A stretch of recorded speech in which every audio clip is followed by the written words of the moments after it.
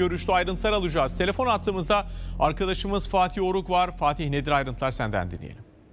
Evet, Doğu Akdeniz'deki gerilim sonrasında ilk yüz yüze temas Ankara Atina hattında kurulu Dışişleri Bakanı Mevlüt Çavuşoğlu Yunan mevkidaşı Dendias'ta Slovakya'daki Globsec 2020 Bratislava forumda e, bir araya geldi.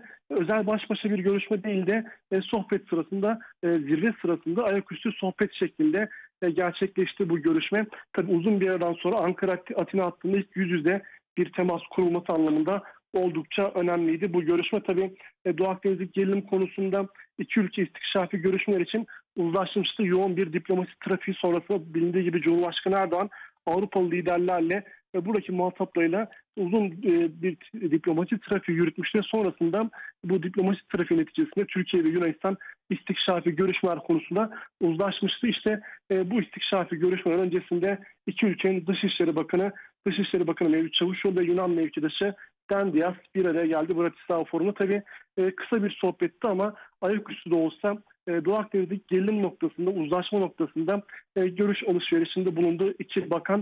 E, tabii Türkiye Doğu Akdeniz'deki gerilimin dinmesi noktasında her zaman diyaloğa açık olduğunu ve ön koşulsuz olmak kaydıyla müzakere masasına oturmaya hazır olduğunu net bir şekilde ifade ediyordu ve e, Yunanistan tarafının e, ayak direttiğini bu müzakere masasına oturmamak için e, çeşitli bahaneler öne sürdüğünü dile getiriyordu ama bu yoğun diplomasi trafiği sonrasında Avrupalı liderlerin devreye girmesi sonrasında Yunanistan'da ikna olmuştu. Hem NATO kapsamında askeri teknik görüşmeler başlamıştı hem de iki ülke istikşafi görüşmelere 4 yıl aradan sonra başlamak için uzlaşmıştı. İşte tüm bu diplomasi trafiği sonrasında bu karşılıklı diyalog çabaları sonrasında ilk yüz yüze temasta Slovakya'da gerçekleşti. Globsec 2020 Bratislava Forum'da iki bakan ayaküstü bir sohbet gerçekleştirdi ve biraz önce saydığım başlıklarda kısa da olsa bir sohbet etme imkanı, görüş alışverişinde bulunma imkanı bulmuş oldu. Oldukça önemliydi. Tabii Dışişleri Bakanı her fırsatta Yunan mevkidaşıyla bir araya gelmeye hazır olduğunu ifade ediyor ama